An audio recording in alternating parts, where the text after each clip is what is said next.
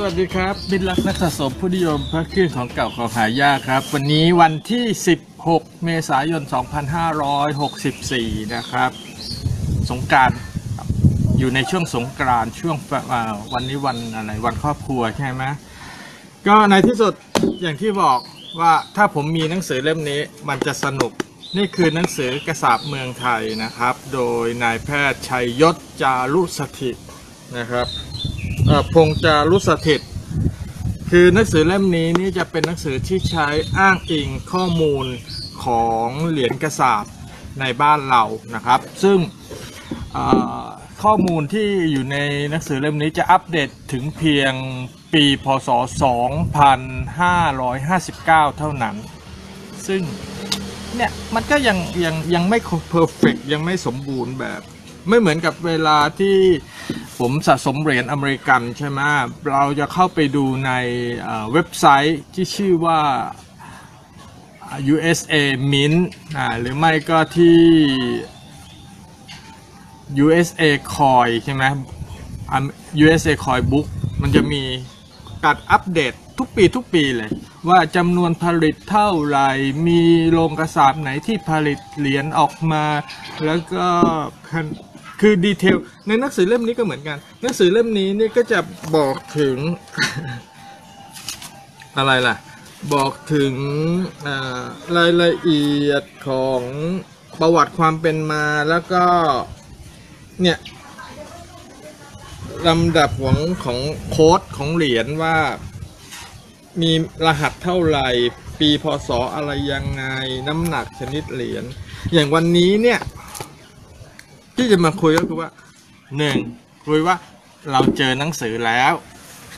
หนังสือเล่มนี้เป็นคู่มือนะ คู่มือที่ใช้ในการสะสมเหรียญกระสาบที่ ข้อมูลค่อนข้างที่จะอัปเดตที่สุดนะตอนนี้ที่ผมมีนะสำหรับผมที่ผมมี แล้วทีนี้เรามาพูดถึงเรื่องการเก็บสะสม คือมีคุณลุงคนหนึ่งนะครับลุงสมเกียรติได้ได้โทรติดต่อผม แต่ว่าผมนอนยังไม่ตื่นเพิ่งตื่นตื่นมาก็ติดต่อโทรกลับ แต่คุณลุงไม่ได้รับสายก็เลย คลาดกันไปคลาดกันมาไม่ได้คืออะเรามาเทียบสมมุติสมมุติ มูลค่าและคุณค่า ตอนนี้เนี่ย ผมมีเหรียญนี่ เหรียญนี้รู้จักหรือเปล่า นี่คือเหรียญร้อยห้าสิบปีอ่าร้อยห้าสิบปีพระราชสมภพของรัชกาลที่ห้าเป็นเหรียญเช่นอ่านิกเกิลนะ ชนิดราคา 20 บาท กับ กับเหรียญวัตถุมงคลนี่ เหรียญวัตถุมงคลเนี่ยต้นทุนเขาอยู่ที่150บบาทใช่ไหมแล้วส่วนเหรียญเนี่ยต้นทุนอยู่ที่20บบาทใช่ไหมเหรียญ150ปีพระราชสมภพนี่อออกมาเมื่อปี46 2546ตอนนี้ 2564 มูลค่าของเหรียญจาก ราคาหน้าเหรียญ 20 บาทที่เคยแลกไว้เนี่ย มันก็ปรับมาตอนนี้อยู่ที่ประมาณ 100 บาท ตั้งแต่ 80 ถึง 120 บาทนะว่างนั้นเถอะ จากที่หนังสืออ่าฮะอ่าฮะในหนังสือ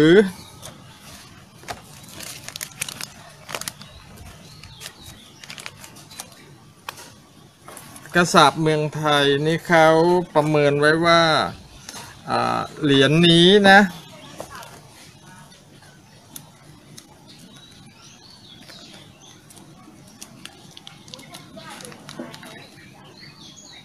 เหรียญนี้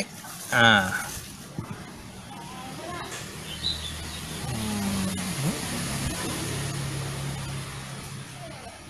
เหรียญนี้ คือเหรียญ150 ปีแห่งวันพระราชบรมราชสมภพ พระบาทสมเด็จพระปรมินทรมหาจุฬาลงกรณ์จุลจอมเกล้าเจ้าอยู่หัว นี่ ถ้ากลับด้านจะจะเป็นยังไงนะ อืม กลับด้านเต็ง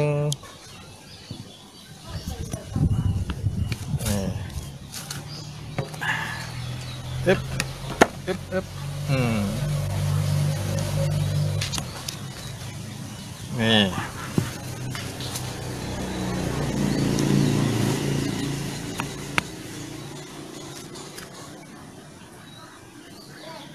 อ่าฮะ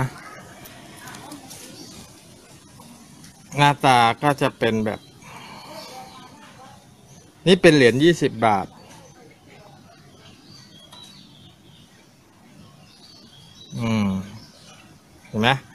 สภาพไม่ผ่านการใช้มันจะแวววาววิ้งวิ้งอย่างเงี้ยอ่าฮะอ่าเดี๋ยวเรามาดูรายละเอียดเขาบอกเขาจะมีสี่ชนิดนะครับก็คือชนิดโอมีทองคำด้วยทองคำขัดเงา มีหกชนิด โอ้ผลิตมาหกชนิดนะครับพุทธศักราชวันที่ 12 กันยายน 2546 นะฮะมีชนิดราคา 900 บาท 900 บาท ที่เป็นทองคำขนาด 26มิลลิเมตรจำนวนผลิต 5,000 เหรียญทองคำขัดเงา ชนิดราคา 900 บาท ขนาด 26มิลลิเมตรจำนวนผลิต 1,500 เหรียญ ราคานี่คือราคาประเมินของเขาว่า UNC นี่ราคาอยู่ที่ 30,000 ถึง 32,000อ่าที่ขัดเงาก็คือ 42,000 ถึง 45,000อ่าราคานี้มันมันไม่ใช่ราคาที่อะไรที่เรียกว่าฟิกนะ เป็นราคาที่ยืดหยุ่นได้ เนื่องจากว่าจำนวนเหรียญเนี่ยเขาอยู่ที่เท่าไหร่ห้าพันกับพันห้าร้อยบาท ใช่ไหม เอ้ยห้าพันเหรียญกับพันห้าร้อยเหรียญเพราะฉะนั้นถ้าคุณไปหาเนี่ย ผมว่าราคามันจะต้องขึ้นสูงกว่านี้ อืมนะครับ แล้วทีนี้มาเป็นเนื้อเงิน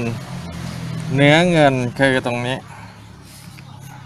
เนื้อเงินชนิดราคาหกร้อยบาท อืม จะมีเงินธรรมดาและเงินขัดเงานะหกร้อยบาท ถ้าเป็น อะไรเนี่ย effective file 700 ก็คือสภาพเหรียญที่มันสกปรกหน่อยหนึ่งมีผ่านการใช้หน่อยหนึ่งก็คือว่ามีร่องรอยของการจับสัมผัสนะ่ะมันจะอยู่ที่ 700 ส่วนราคาที่ไม่ผ่านการใช้อยู่ที่พันแปดถึงสองพันแต่ราคาสูงกว่านี้แน่ ๆ นะขัดเงาขัดเงามีอยู่ 4,600 ร้อยเหรียญใช่ไหมผลิตจะอยู่ที่3,500ถึง4,000นี้เราก็ผ่านไป เราจะมาดูเหรียญล่าง เหรียญล่างก็คือเหรียญนี่เหรียญล่างก็คือ 20 บาท ไม่ขัดเงาจำนวนผลิตอยู่ที่ 1 ล้านเหรียญราคาประเมินนะเห็นนะราคาประเมิน 20 บาทไม่ขัดเงาเนี่ย อยู่ที่เหรียญละ80บาท ก็อย่างที่ผมบอกแรงมันก็อยู่ที่80บาทถึง120บาท อืมใช่ไหมครับ ทีนี้ นี่คือเมื่อปี59ผมไปสะไปซื้อเหรียญไปซื้อเหรียญ150ปีพระราชสมภพใช่ไหมจำนวนก็คือซื้อมา9เหรียญ ห็นไหมนี่ซื้อมา 9 เหรียญ 150 ปี พระราชสมภพรัชกาลที่ 5 ซึ่งเป็นเหรียญที่ผมชอบนะ รูปแบบของเหรียญเขาสวย ผมก็เลยชอบ นี่ คือเหรียญนี้เวลาเวลาจับเราจับขอบนะครับ นี่ จับขอบจับขอบเหรียญนี่เหรียญนี้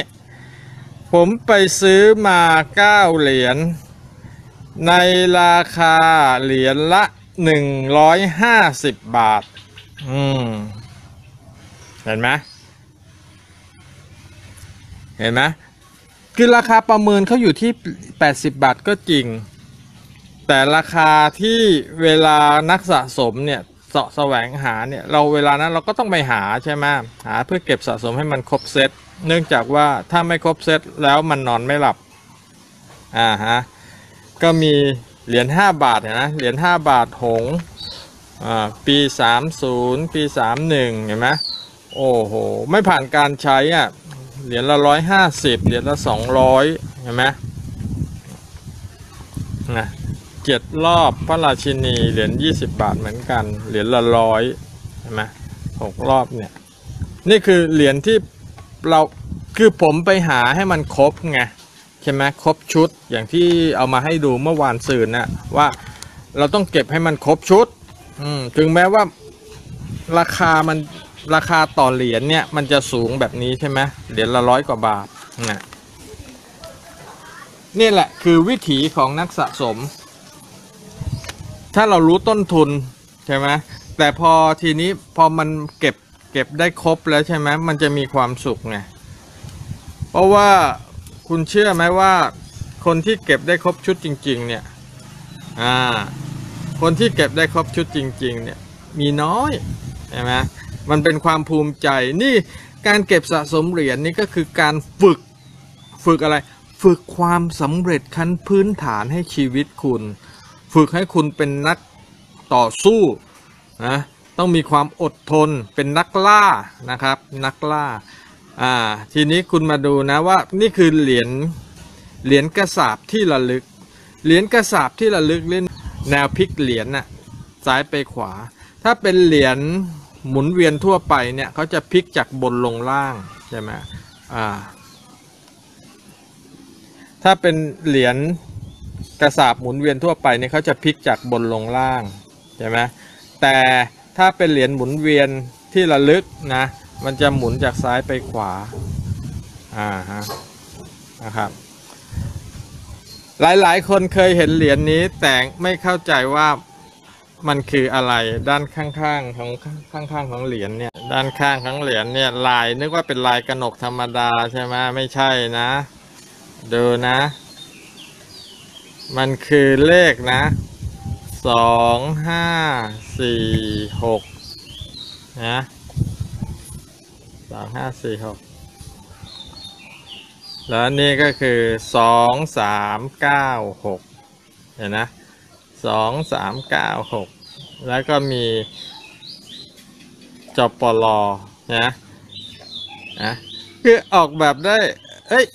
เจ๋งว่ะสองห้าสี่หก สองสามเก้าหกหนึ่งร้อยห้าสิบปีแห่งวันพระราชสมภพเอคือ อ่า แล้วถ้าเป็นเหรียญอย่างเงี้ย อ่า นี่นี่นี่คือเหรียญหลวงพ่อกูเออไม่ใช่หลวงพ่อกลวยเนี่ยเหรียญหลวงปู่จือ หลวงปู่จือนะ เหรียญนี้ต้นทุนอยู่ที่ร้อยห้าสิบบาท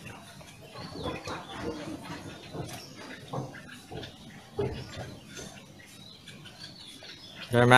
เหรียญนี้ต้นทุนอยู่ที่ร้อยห้าสิบบาท ราคาที่แบ่งปันกันก็จะอยู่ที่สามร้อยค่าส่งห้าสิบบาทหกสิบบาท ค่าส่งหกสิบบาท ใช่ไหมอ่าสองเหรียญก็คิดหกร้อยไม่ แล้วก็ส่งฟรี อย่างเนี้ยนะนะ เพราะฉะนั้น มูลค่าของเหรียญ เหรียญกระสาบกับกับเหรียญอ่า เหรียญวัตถุมงคลเนี่ย จะมีมูลค่าที่ต่างกัน เพราะอะไรเพราะคุณค่าคุณค่าของเหรียญเหรียญกระสาบเนี่ยเขาจะอยู่ที่การสะสมและจำนวน เนื่องจากว่าจำนวนการผลิตมันมีเยอะอะมีถึง 1 ล้านเหรียญใช่ไหมเพราะฉะนั้นราคาเขาเนี่ยก็จะขึ้นอยู่กับขึ้นอยู่กับอะไรอะขึ้นอยู่กับสภาพนะ สภาพของของเหรียญอ่าสภาพของเหรียญ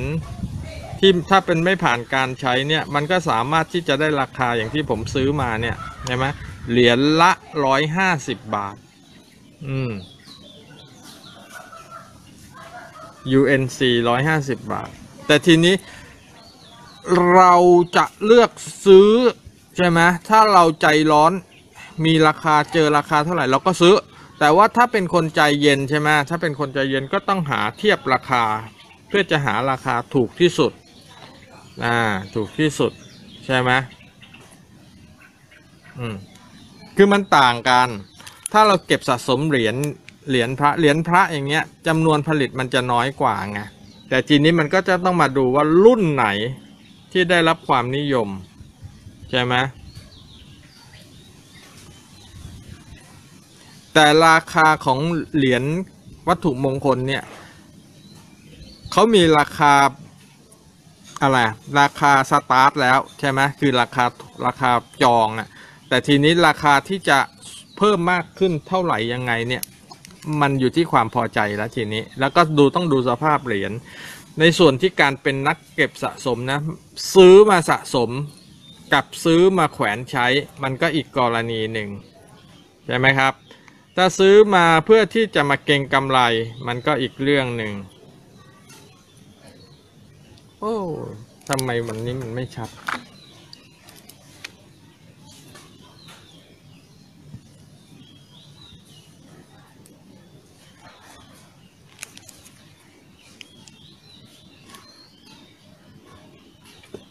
อืม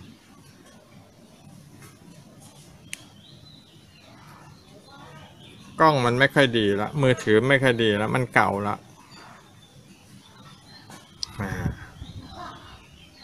อ่านะ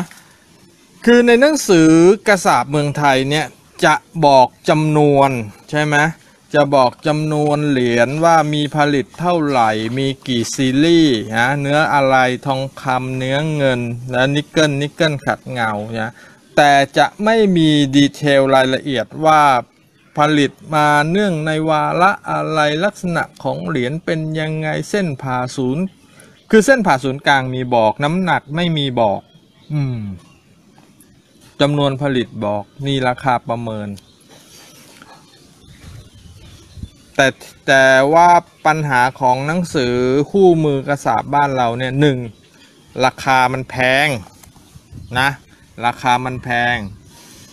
แล้วก็จำนวนผลิตเขาค่อนข้างที่จะน้อยนะเมื่อเทียบกับจำนวนผู้นักสะสม อืม แต่ถ้าเขาทำเป็นอีบุ๊กได้น่าจะน่าจะขายได้ดีกว่านี้เนาะทีนี้ก็คือว่าเราอะถ้าสะสมเหรียญใช่ไหมวิธีที่จะให้เหรียญมันอยู่ในสภาพที่ เรียกว่าอะไรไม่ไม่มีรอยนิ้วมือไม่ผ่านการจับสัมผัสอะไรเนี่ยเพราะนั้นเราต้องใส่ถุงมือพอใส่ถุงมือมันก็จะช่วยใช่ไหมช่วยให้เราอ่าจับเหรียญอะไรได้ได้ง่ายนะไม่เนไหมไม่จะมันจะไม่มีรอยนิ้วมือติดอยู่ แล้ววิธีถนอมรักษาอีกอย่างหนึ่งก็คือว่าหาซื้อตลับอะคริลิกอย่างเงี้ยนะมามาเก็บมาใส่เหรียญใช่ไหมเออเพื่อป้องกัน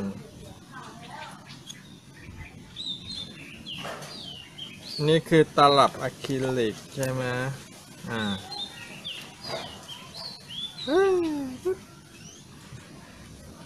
นี่พอนั้นเสร็จเราก็จะได้ เหรียญ20 บาทที่อยู่ในตลับอ่าที่ป้องกันรอยนิ้วมือหรือรอยขูดขีดใช่ไหมอย่างเงี้ยเก็บรักษาอยู่ในสภาพอย่างเงี้ยเขาก็จะคงสภาพไว้อีกนานนะครับ ไม่มีร่องรอยของของความเสียหายเกิดขึ้นทำให้คุณค่าเขาก็จะมี อ่า แล้วเราก็เก็บไว้ในอะไรหาอัลบั้มใส่หรือว่าหาซองซิกอย่างเงี้ยใส่เก็บเอาไว้นะ หรือถ้าถ้าไม่มีแคปซูลอะคริลิกตลับอะคริลิกอย่างเงี้ยเราก็เก็บในถุงซิปอย่างนี้เอาไว้นั่นแหละมันก็จะช่วยรักษาสภาพของเหรียญ นี่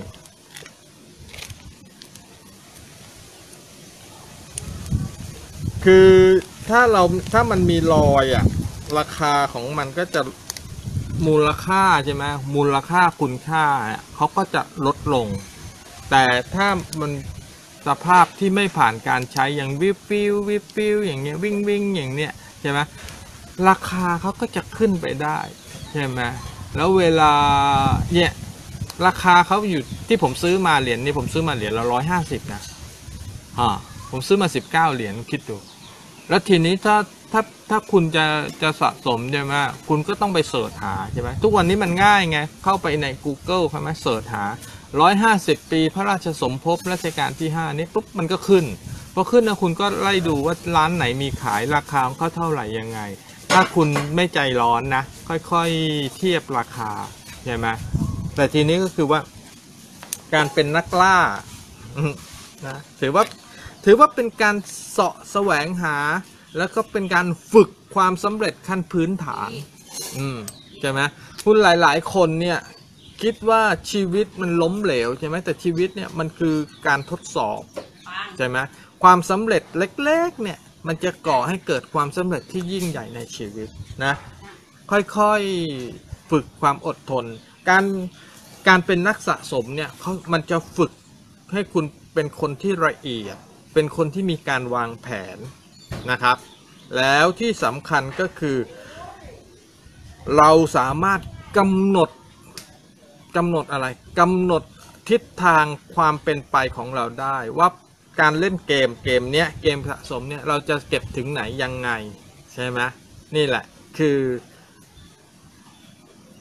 เงื่อนไขสำคัญในการเป็นนักสะสม ต้องมีความอดทนความพยายามนะครับนี่ในการที่จะเสาะแสวงหา ค้นหาเขาเขาจึงเรียกว่าคอยฮันเตอร์นะนักล่าเหรียญใช่ไหมครับนี่คือนอกจากที่ว่าเราจะจะมาหาเหรียญพวกนี้ธรรมดาธรรมดาที่มีความเรียกว่าไงรูปแบบการผลิตทำไมเรายัง คอยเสาะแสวงหาเหรียญที่มีความพิเศษก็คือเหรียญที่มีเออร์เลอร์ผิดพลาดจากการการปั๊มเหรียญจากโรงกระสาบใช่ไหมมันก็เลยจะทำให้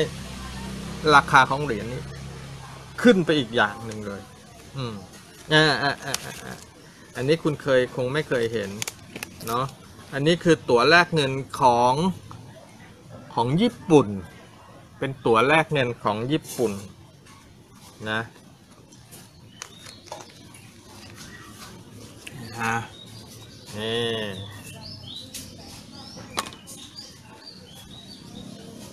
จำไม่ได้ละว่าซื้อมาเท่าไหร่ยังไง เออ นะ แต่มันเป็นกระดาษ